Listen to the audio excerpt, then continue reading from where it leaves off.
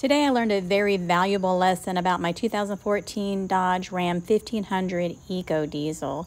One of its cool features is that it has a capless gas tank.